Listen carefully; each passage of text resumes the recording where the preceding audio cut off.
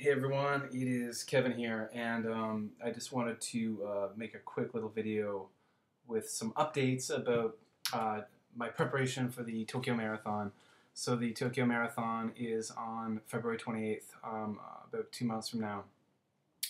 And I was just reading actually, I picked up a copy of Canadian Runners Magazine when I was in Canada for the Christmas vacation, and uh, it actually mentioned that 280,000 people applied for spots in the Tokyo Marathon uh, for one of the 30,000 spots. So uh, I guess uh, I'm pretty lucky I got in. um, so um, my vacation was kind of a, a bump in the road of my training because uh, number one, um, I became lazy because I was on vacation. And uh, number two, the temperatures were normally on an average day below minus 20 centigrade. Um, and I simply didn't have the gear for running in that. Um, you know, here in Kobe or in Japan, this, this part of Japan is kind of on the same line of latitude as like South Carolina. So cold winter temperatures here are, you know, 5 degrees, 10 degrees Celsius. And I've got clothes for that. So, but as soon as I got back, I started training like crazy. Um, on Sunday, I ran 15 kilometers. Last night, I ran about 11 or 12. Uh, tonight, I'm going to go out and do some tempo runs. So, a tempo run is kind of when you run at a very easy pace. You pick a, an object off in the distance and you run towards it very quickly. And then once you get to it, you slow down again and you keep doing that. Um, kind of a bit of speed training.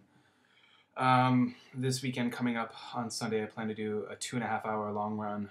Um, the week weekend after that, I'm, I'm gunning for a three hour long run.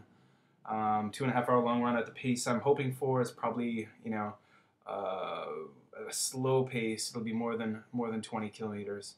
Um, yeah. So on February 14th, I will be running a half marathon here in Kobe called the uh, Valentine's Love Run. I ran it last year, and uh, yeah. So I just wanted to quickly show for any of the people who care about running, and probably not a lot of you do. So bear with me.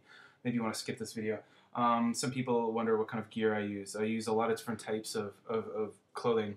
Um, I've got like everything from Asics, or as they say here in Japan, Asics, to uh, New, New Balance and Nike.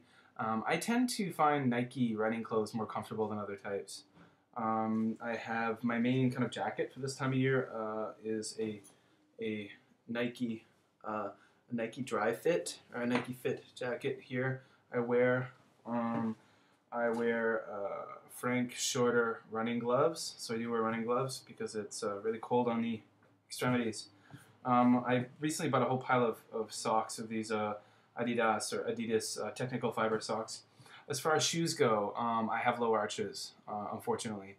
So a shoe, so I overpronate. So basically, when my feet come down, they turn in. So I need a shoe with a lot of support. And I found over the years uh, the best shoe for me is uh, the Asics Gel Kayano. And this is the shoe I swear by. This is all I wear. Uh, this is a Gel Kayano 15.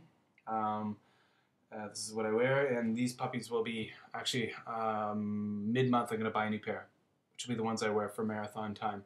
These ones are kind of wearing it a bit, but this is the shoe I wear, the Gel Kayano. Uh, they're great shoes. They're just awesome. They're a little heavy, but they offer a lot of support. And I mean, I'm slow as shit anyway, so it doesn't really matter. You know, I'm not built for speed. Um, yeah, so um, as far as my diet goes, I have uh, stopped drinking, so uh, no alcohol until after.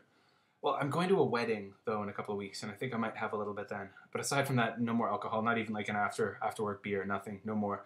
Um, and that's all just trying to get my sleep patterns regular and get really good quality sleep because my legs have been taking a pounding with the training, and um, basically I need that sleep time for recovery. Um, I've been starting to slowly up my carbs good quality carbs um, and, and, and, watching my protein.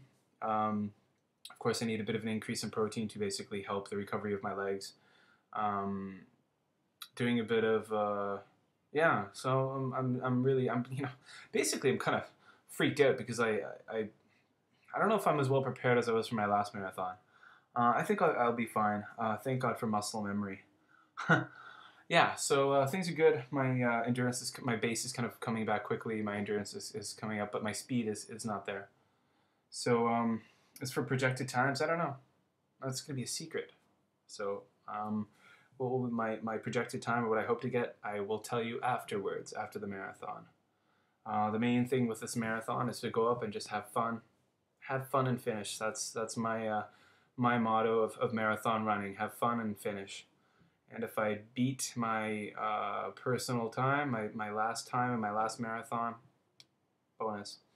Mm, so I'm gonna head up on the Friday before the marathon. I'm gonna take the Shinkansen, the bullet train up, and um, and uh, you know possibly meet some other YouTubers. I'd definitely like to, um, but I'll be just sipping on coffee or juice, um, and then uh, yeah, and then maybe after the marathon, if if I have the mode, the ambition, if I can if I can even prop myself up, I'll have a few beers for sure, and then uh, I'll come back down here the following Monday.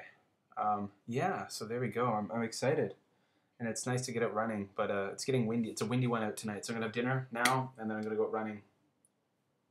So take care, and for all of you runners, run nerds out there, people who are into running, um, a little more info, and update about my marathon training. Um, will I bring a camera with me? I'm definitely gonna bring a camera with me for marathon weekend to record like everything that happens, like the Tokyo Marathon Expo, the day of the race, but I know it's a small camera, but it's still pretty big to carry with me. It's heavy, and you know I'd have to get kind of like a little kind of runner's fanny pack, and you know men with fanny packs are very cool.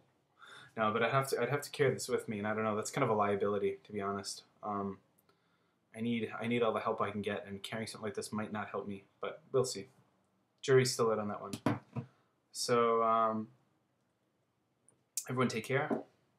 There you go. Um, I know videos like this are not for everyone. Um, so if you don't run and you don't care about running, but actually watch this whole video, I appreciate your uh, support, your solidarity. Fight the power and all that stuff. All right, see you later, Kevin. Take care.